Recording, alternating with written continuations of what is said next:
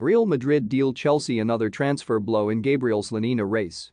Real Madrid look to have dealt Chelsea yet another transfer blow after they appear to have beaten the Blues to the signing of goalkeeper Gabriel Slonina. Goalkeeper Slonina, 18, currently plays for MLS side Chicago Fire but has drawn interest from a number of English clubs after impressing in the MLS so far this season. But the young goalkeeper's agent has reiterated his intentions to sign for Real, who have already had one bid rejected but are expected to table a second, more financially appealing bid. Slonina's agent Jamie Garcia said, it should be an honor for Chicago and the MLS to have Real Madrid take notice in one of their players.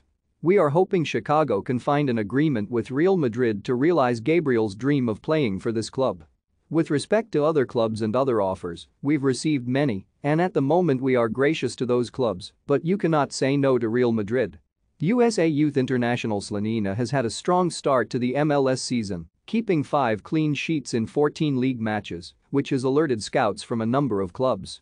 The young goalkeeper was called up by Poland for their UEFA Nations League fixtures in May, but rejected the call-up to pledge allegiance to USA.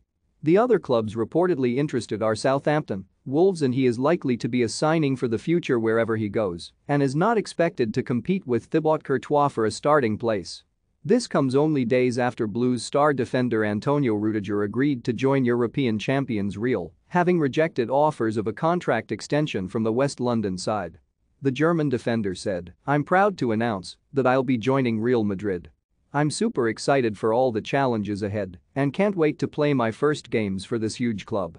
It is reported the 29-year-old has signed a four-year deal at the Bernabeu until the summer of 2026, worth around £315,000 per week. Rudiger won the Champions League in the 2020-21 season, having been brought back into the side by Thomas Tuchel following the sacking of Frank Lampard. In five years at Stamford Bridge, the Germany international also won the FA Cup, Europa League, UEFA Super Cup and FIFA Club World Cup. He joined the Blues from Roma for £29 million in 2017 when the West London club were managed by current Tottenham boss Antonio Conte.